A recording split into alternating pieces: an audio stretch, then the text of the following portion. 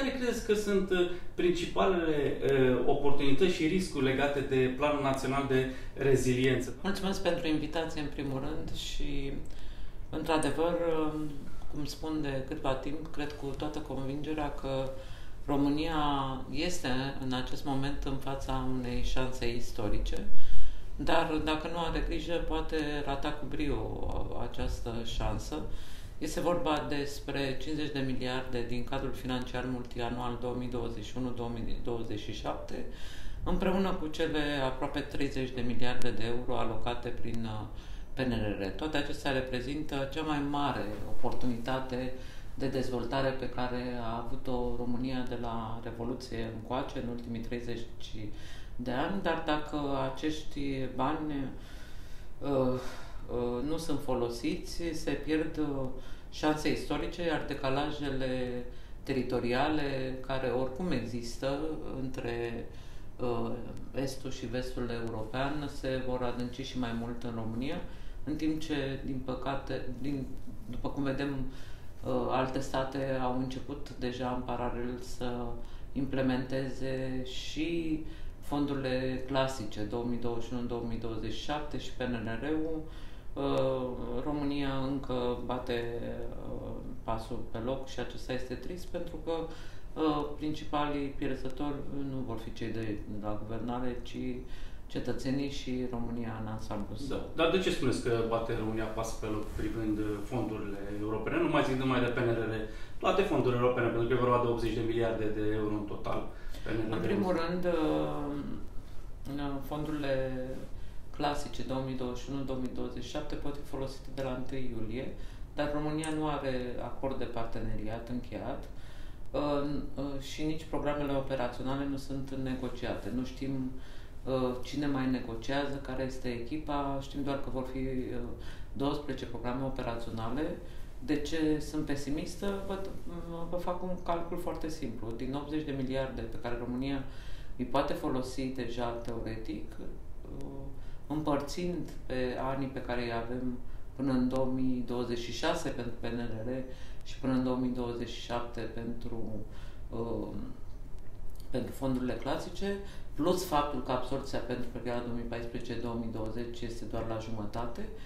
Deci România cu fiecare zi care trece uh, pierde peste 20 de milioane de euro. Deci de, de aceea sunt uh, uh îngrijorată, uh, pentru că nu am reușit cheltuirea în, într-un ciclu financiar uh, a banilor alocați, mi-e foarte greu să cred că România are capacitatea administrativă, în primul rând, și posibilitatea, inclusiv voința politică, cu aceste uh, instabilități care există la nivelul guvernării, mi-e foarte greu să cred că vom atinge țintele și jaloanele prevăzute. Știți foarte bine că în PNRR sunt date fixe pentru toate statele membre indiferent când au început. Deci această lipsă de transparență uh, pe care eu am acuzat-o de foarte mult timp, se vede acum. Acum aflăm că sunt 500 și ceva de jaloane care au ca prin termen uh, ianuarie.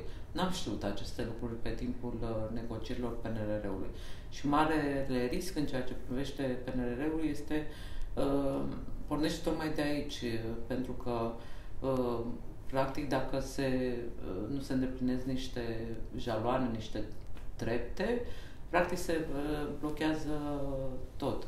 Deci, în primul rând, PNRR a fost aprobat formal de către Comisia Europeană, urmează să fie aprobat de către Consiliul European, după care se va primi acea prefinanțare, dar și uh, dacă nu se vor cheltui în acord cu ceea ce s-a angajat România, Uh, inclusiv această prefinanțare riscă să trebuiască să fie dată înapoi. Plus pierderile din programul 2014-2020, dacă acum suntem la 50 și ceva la 52%, mi-e greu că până în 2023 uh, vom ajunge la 100%. Eu sper că măcar la 91% să ajungem, așa cum am reușit, am ajuns comisar european în 2014, rata de absorție era tot cam la 50 ceva la sută, și până la încheierea exercițiului uh, financiar, uh, practic uh, România a încheiat prima sa perioadă 2007-2014 cu o rată de absorție de 91%. A pierdut 2 miliarde din sumele alocate care nu au mai putut fi recuperate. Atunci am, am putut să folosim aceste două mecanisme. Unul, al, unul a fost cel al proiectelor retrospective, practic erau proiecte vechi finanțate din fonduri naționale sau împrumuturi de la Banca Europeană de Investiții, care au fost decontate de Comisia Europeană, au fost acceptate practic. Și al doilea, să zic, al doilea artificiu a fost cel al proiectelor fazate, deci proiectele care nu puteau fi terminate au fost amânate, trecute pe ciclul financiar următor, adică prezent ca să nu se piardă banii, să nu, fine, să nu vină dezangajările. Acum mai putem să folosim aceste, aceste două procedee, să zicem așa? Da, într-adevăr, erau foarte multe proiecte care, la care România se angajează să, fie, să le termine uh, în perioada 2007-2013 și nu reușise. Cele mai multe erau de apă și canalizare, uh, pe care, într-adevăr, împreună cu autoritățile uh, române am reușit să le fazăm pentru perioada 2014-2020. După care a existat această chestiune a proiectelor retrospective, în general, uh, Comisia nu este de acord să um, financeze um, credite luate de un stat, dar uh, în cazul acela excepțional, uh, din fericire, președintele Juncker și colegiul au fost de acord să um, să facă această excepție, n-a fost numai pentru România. De pildă, autostrada Soarelui a fost făcută cu fonduri europene, cu bani naționali și o parte din credite BEI și BERD, uh, centura Timișoarei. Uh, practic, aceste proiecte s-au epuizat. Problema principală a României este că nu mai are proiecte mature. Pe parcursul mandatului meu de comisar european, eu am primit doar 57 de proiecte noi. Deci, uh, proiecte mature înseamnă, în limbajul nostru de la Bruxelles, înseamnă proiecte în valoare de peste 50 de milioane de euro. Uh, a existat și văd că continuă această uh, politică de a face proiecte mici pentru a mulțumi pe toată lumea. Uh, nu există o strategie națională unde, cât și cum să se investească pentru ca, într-adevăr, să se vadă în nivelul de trai al oamenilor. Tot ce a fost cât de cât mai avansat a fost mutat pe PNRR și cred că aceasta va fi principala problemă pentru programele operaționale, lipsa proiectelor uh, mature, uh, ca să nu mai spun de capacitatea administrativă, faptul că în România nu există un corp uh, de oameni independenți politic care doar să cunoască regulamentele, uh, din perioada în care am fost comisar european, dar și mai ales acum cu această pandemie cu care ne confruntăm noi aici în Parlamentul European, Ehm, și și Comisia a lucrat pentru simplificarea procedurilor de accesare a fondurilor europene. Din păcate, România rămâne una din țările cu cea mai mare ehm, adăugare a, de noi condiții, deci acolo unde ehm, la Bruxelles se, se încearcă simplificare, practic la București se încearcă compensarea acestor simplificări cu noi condiționalități Uh, deci uh, eu am uh, foarte multe semnale de la beneficiari care sunt disperați că nu au ghiduri, pentru că nu au, nu au cum să primească ghiduri atâta timp cât banii nu sunt alocați și vă spun, nici acordul de parteneriat nu există. Deci, ca să nu mai spun de o chestiune simplă despre care am atras atenția în nenumărate rânduri, care poate fi realizată prin legislație, Uh, mai ales acum în legătură cu PNRR-ul, acest lucru cred că ar fi foarte util. E vorba de litigiile care iau foarte mult timp uh, în instanță, adică nimeni nu poate uh, nu poate să îngrădească cuiva care pierde o licitație dreptul de a contesta, dar în alte țări aceste lucruri se fac prin lege în maxim 3-6 luni. Noi am avut procese care au durat și 7-8 ani, pentru drumuri județene, naționale și atunci, bineînțeles că s-au pierdut banii pentru că s-au pierdut fondurile europene până s-a dat verdictul care este câștigătorul uh, de fapt al acestor licitații. Deci sunt lucruri uh, unde uh, e foarte simplu să spui că ne cere Bruxelles și tot, tot ce rău vine de la Bruxelles, dar după cum vedeți sunt lucruri care pot fi reglate din țară și care ar putea foarte, foarte bine să ușureze munca uh, și, și să facă aceste proiecte să se implementeze. Suntem într-o criză sanitară. România a ajuns pe locul 1, din păcate, la decese. Uh, dacă aveam acum cele trei spitale regionale pentru care atâta ne-am bătut, cum putem crede noi că vom face în șase ani ce avem banii parcați din 2015, avem studiile de fezabilitate, pentru că vorbesc de Clujia și Craiova, avem uh, toate uh, aprobările din partea Comisiei Europene și nu s-a săpat o groapă, nu s-au, uh, nu s-au pur și simplu nu s-au um, demarat licitațiile.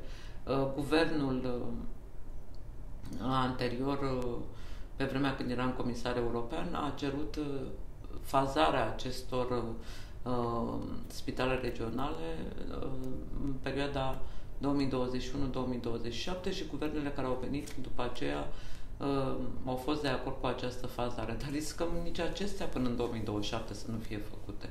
Prin PNRR se, se spu- am văzut uh, că se, se, s-ar programa spitale noi la Focșani, uh, la Sibiu și la Brașov, dar există măcar o machetă, există un studiu de fezabilitate. Dacă nu mergea doamna uh, von der Leyen la uh, doamna președinte a Comisiei Europene la Spitalul Universitar din București, nimeni nu ar fi știut că uh, acest spital este prevăzut în PNRR de a beneficia de fonduri. Deci această lipsă de transparență cred că este foarte uh, uh, cum să spun, dăunătoare, în primul rând pentru beneficiarii care ar fi trebuit să se pregătească cu proiecte, inclusiv administrațiile locale. Uh, lumea se bate pentru acest PNDL sau cum se da. numește programul? Angel Salini. Angel Salini, da, dar sunt informații uh, primarii despre posibilitățile pe care le au pe fonduri europene.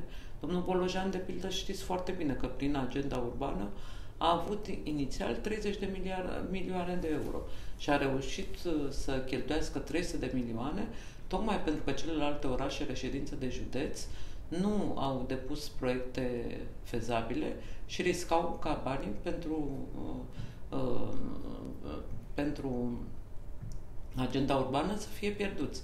Pentru că, potrivit uh, legislației, și eu m-am mutat foarte mult ca o parte din banii din Fondul de Dezvoltare Regională să se ducă direct către orașe, considerând că acolo unde există voință politică și cunoștințe, primarii știu mai bine decât cei de la București și cu atât mai puțin cu, decât cei de la Bruxelles, unde cum și să se investește. Și Oradea este un exemplu în acest sens. Alocarea inițială a fost de 30 de milioane, după care au, venit, au curs proiectele pentru că, din păcate, alte orașe nu au reușit să facă proiecte, nici măcar să-și să-și consume cota care le-a venit. Acum, revenit. noi avem în România un guvern uh, demis. Uh, toate acestea sunt negocieri pentru un nou guvern. A fost desemnat Dacian Cioloș uh, să, să încerce să formeze o majoritate. Toată această criză politică și guvernamentală din România se răsfrânge cumva asupra absorției fondurilor europene și a pregătirii noului cadru financiar și a PNRR-ului în continuare? În primul rând, uh, nu se mai face niciun pas pentru implementarea PNRR-ului și așa cum spuneam, primele borne uh, vor fi la începutul lunii ianuarie. În al doilea rând, nu cred că mai negociază cineva programele operaționale în uh, această perioadă cu Comisia Europeană. Sunt convinsă că s-a pornit greșit încă de la început, dar lucrurile puteau fi corectate pe parcurs, mai ales că Așa cum spuneați, am răspuns de 28 de state membre, 27 uh, după plecarea Marii Britanii și am putut să fac observațiile necesare în sensul de îmbună, îmbunătățirii.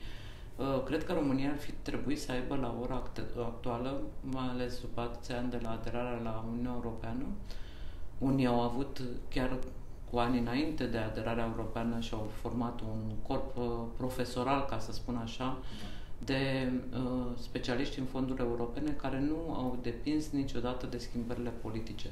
Pentru că regulamentele europene sunt regulamente, legile naționale sunt naționale, cu această politizare excesivă dăunează foarte mult. Și faptul că nu există un guvern stabil, iarăși dăunează. Faptul că în, în din 2015 până acum, în 2021, dacă faceți un calcul, s-a depășit cu mult uh, suta de miniștri schimbați.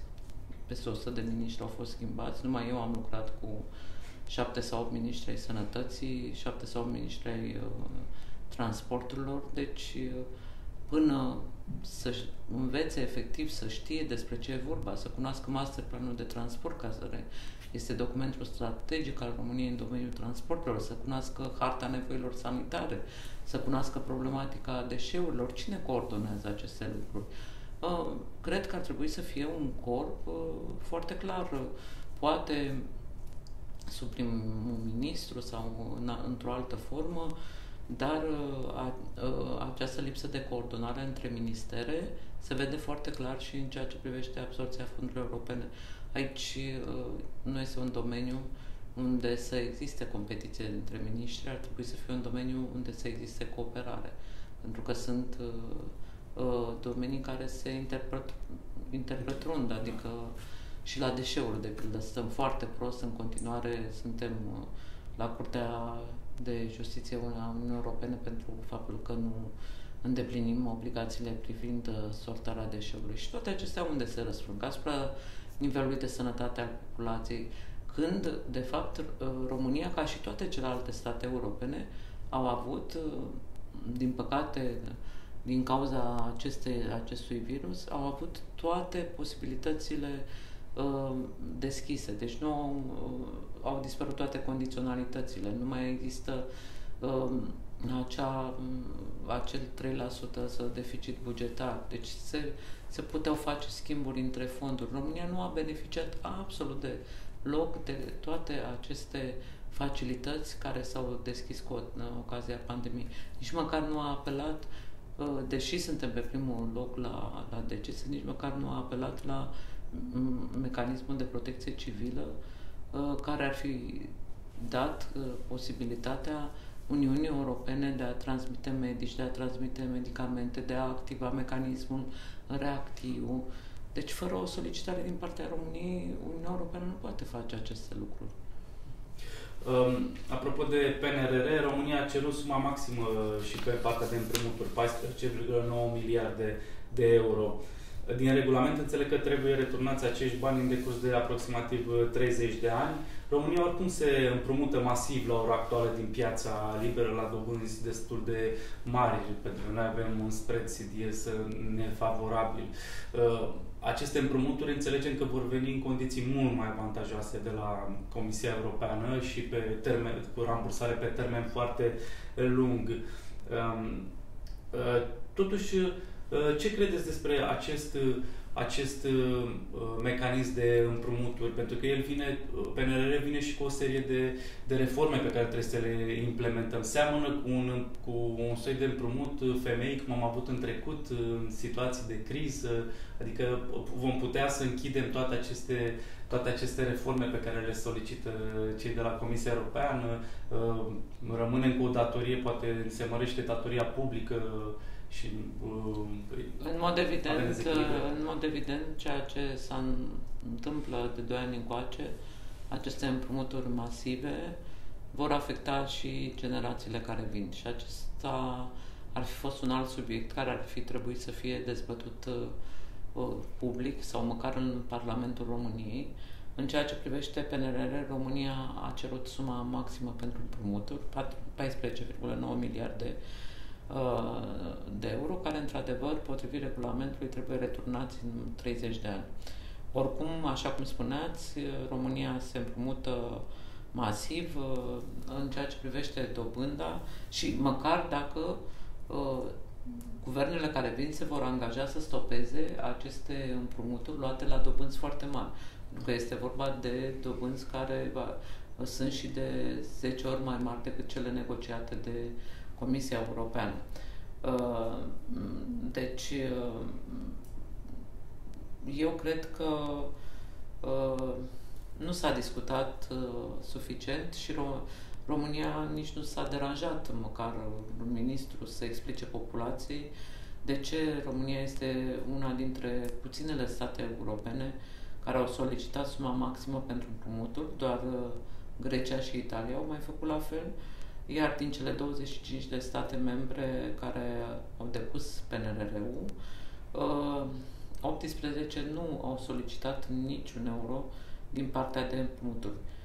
De ce a trebuit ca România să se numere printre puținele state care au cerut împrumuturi este o altă întrebare la care nu s-a răspuns public și așa cum ați spus, sunt de implementat o serie de reforme.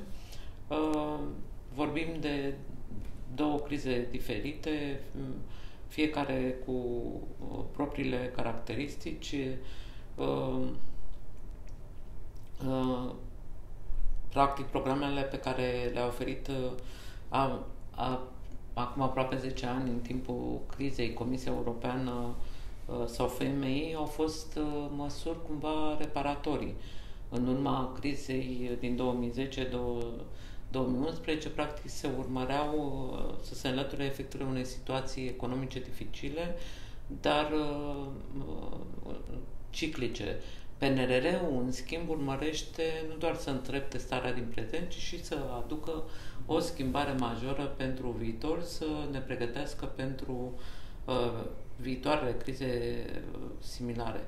Avem de respectat, așa cum spuneți, foarte multe condiționalități uh, de, pentru primirea acestor bani, uh, lucruri despre care, de fapt, iarăși nu prea se vorbește. Vorbim de creșterea porției de pensionare, de reforțările din uh, sistemul public, eliminarea stimulentelor fiscale, aspecte care seamănă, într-adevăr, foarte mult cu condițiile impuse de femei, dar, dincolo de acest aspect, nu există un studiu de impact, după părerea mea, care să fie cunoscut uh, public. Nu au fost dezbateri, așa cum am spus în spațiul public, la inițiativa Guvernului, în care să vedem cât de fezabile sunt uh, aceste condiționalități și ce înseamnă pentru fiecare sector în parte, care vor fi consecințele.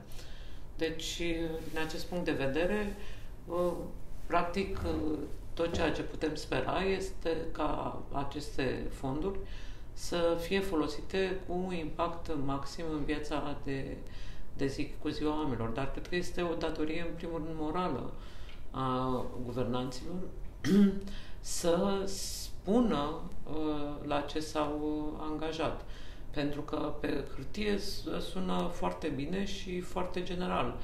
Dar uh, este greu de crezut că dacă în 30 de ani de la Revoluție am făcut 500 de kilometri de autostradă, vom reuși să facem 450 până în, în 5 ani. În 5 ani.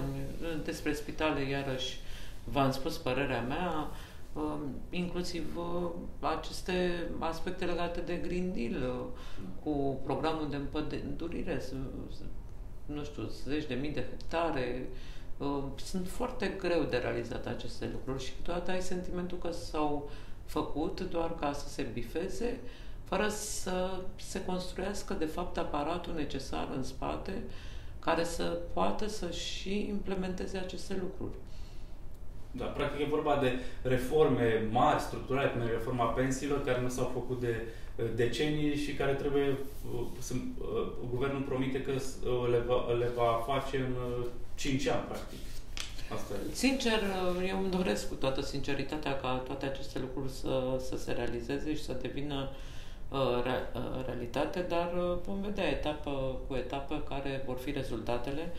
Uh, pentru că mai există o problemă. PNRR-ul nu poate fi realizat uh, parțial, adică nu primim bani doar pentru jumătăți de proiecte.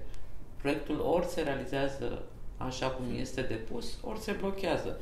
De aici este și marea mea îngrijorare, o îngrijorare care, de fapt, așa cum văd în jur, este împărtășită de foarte mulți români și mai ales de specialiști în fonduri europene, care au văzut cât de greu s-au implementat până acum proiectele și uh, și lor le vine greu să creadă că se vor putea face minuni în acești 5 ani. Da, ca procedură, cum, cum se întâmplă? Uh, dă statul român de la bugetul de stat banii și realizează anumit, începe să realizeze anumite proiecte, lucrări, așa, și după aceea, dacă le finalizează... După aprobarea Consiliului, pentru că a fost o aprobare a Comisiei, urmează Ministrul de Finanțe să aprobe PNRR-ul după care se va primi o prefinanțare de 13 milioane, cu care practic... 3, 13%, 3,8 miliarde de euro. 3,8 miliarde, prin care, cu care practic se poate uh, se, se pot începe uh, pot începe proiectele. Da. da. Și se pot da și de la guvern uh, părți de prefinanțare, după care, bineînțeles, la fel ca și în cazul fondurilor europene, depui facturile, mm. ți, se, ți se decontează, dar... Și dacă dar, nu îndeplinim benchmark-ul, dacă nu îndeplinim obiectivul stabilit în, în program, gata, rămânem cu cheltuiala făcută și nu mai primim banii de la... Da, așa am înțeles. Da. Așa este regulamentul. Se blochează pe orizontală toate proiectele. Da, asta este un risc foarte mare, cred, pentru buget, pentru deficit bugetar. De aceea cred că o voință politică ar trebui să existe, pentru că, uh, cum să spun, trebuie să te angajezi. Sunt două țări, Olanda și Bulgaria, care nu au depus PNRR-ul. Uh-huh. Uh, nu au depus, pentru că nu, de, decât să te angajezi. Noi, ne, uh-huh. noi întotdeauna ne angajăm în plus, să arătăm că putem face mai mult chiar de peste ceea ce ne cere Exces de zel, ex, Da, pe hârtie, da, întotdeauna exces de zel. Pe hârtie întotdeauna a, s-au promis lucruri, a, deci au fost da. angajamentele României, nu ale Comisiei Europene, inclusiv da. în programele operaționale, atât programul de transport cât POIM-ul, cum era atunci, programul operațional regional erau lucruri la care România s-a angajat. Nu a obligat nimeni România să se angajeze, să facă sute de kilometri de autostradă. Ei s-au angajat și acum n-au nici măcar depus niciun proiect major legat de Moldova, că tot vorbim de ani de zile. Chiar nu se putea face să se depună la comisie proiectul Târgu Mureș, Unghen sau proiectul autostrăzii Moldova. Dacă tot vorbim de reducerea decalajelor de dezvoltare, chiar PNRR-ul și fondurile europene sunt o șansă pentru a reduce decalajele de dezvoltare numai dintre România și celelalte țări, dar dintre, din interiorul României. Și după cum vedem că se mișcă țările din jurul nostru, îmi pare rău că trebuie să dau exemplu, uh, din, se, va, se, va, uh, se va adânci decalajul dintre noi și țările foste comuniste, cum sunt Ungaria, Polonia, care se mișcă foarte bine. Da. Acest guvern a fost criticat pentru faptul că ar fi întârziat depunerea PNR-ului, că l-a depus târziu. Dar acum înțeleg că dumneavoastră spuneți că mai bine mai târziu și mai bine decât... Nu, nu, am spus că uh, l-a depus târziu, nu l-a depus uh, cum a trebuit. Știți foarte bine că prima formă a fost complet uh, trimisă înapoi. După care eu cred că clarificările sunt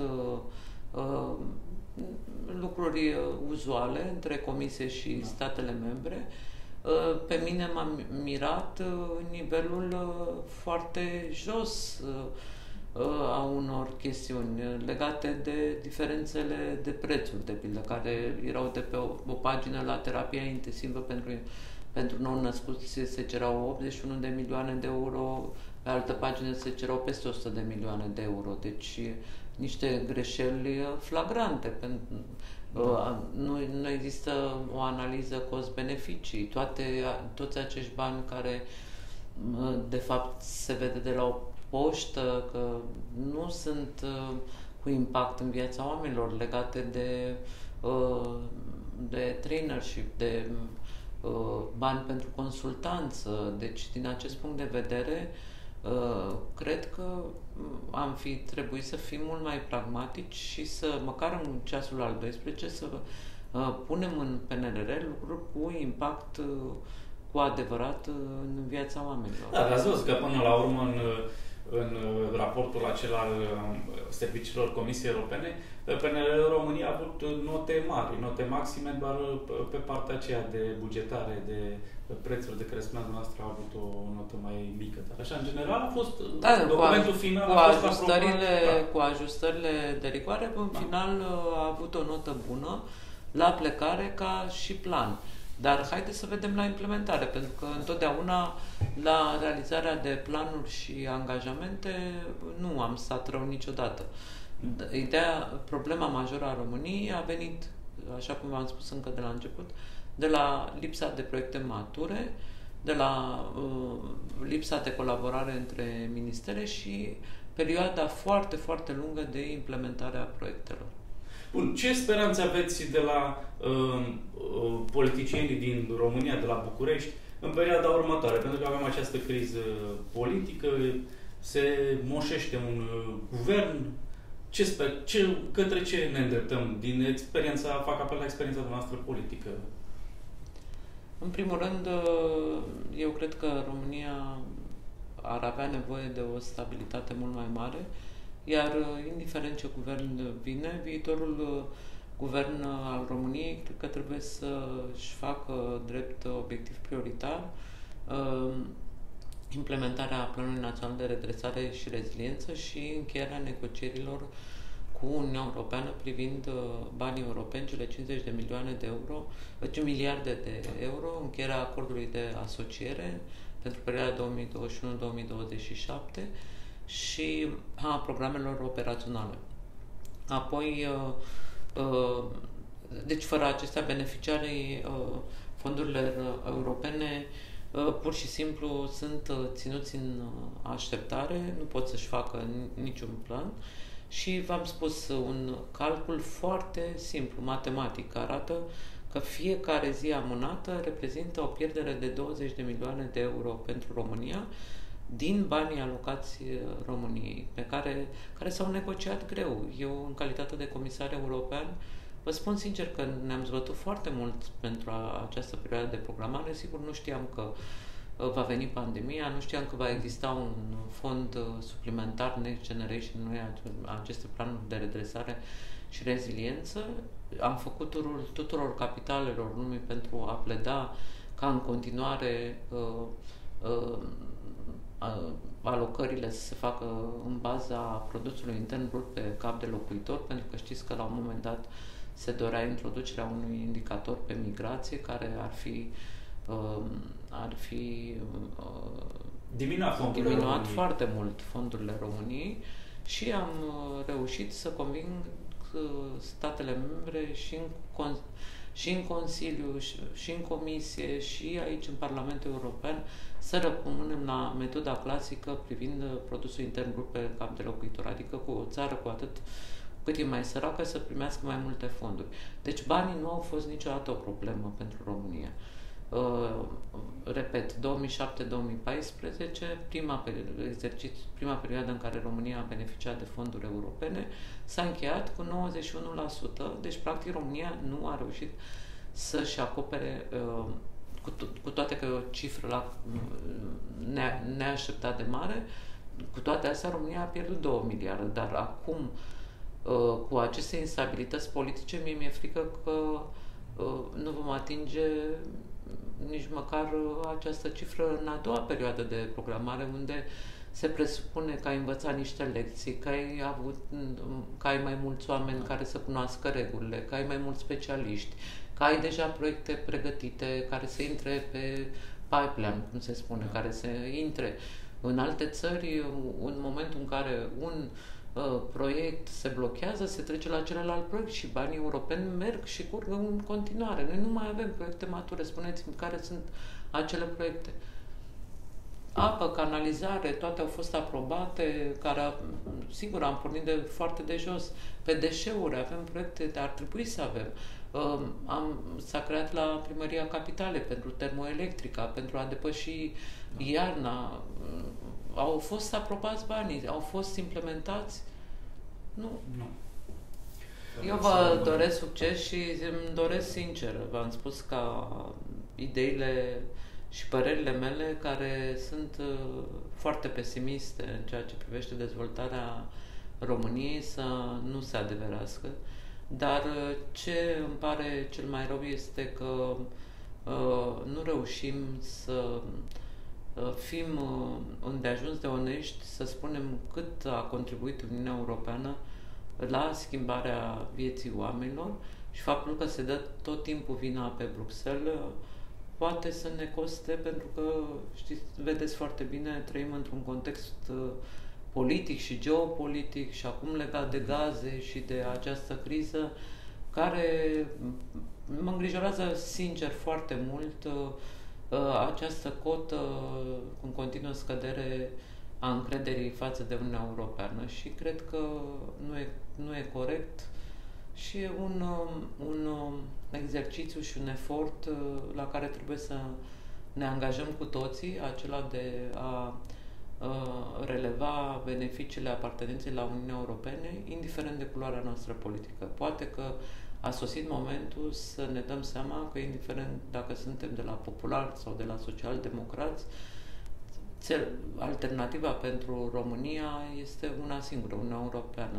România nu-și poate permite luxul Marii Britanie, am mai spus asta de și Marea Britanie are probleme. Ori și se vede foarte clar că uh, persistând în a spune că tot ce vine rău e de la Bruxelles și tot ce e bun e de la guverne și de la primari și așa, persistând în această chestiune, uh, țara întreagă are de pierdut.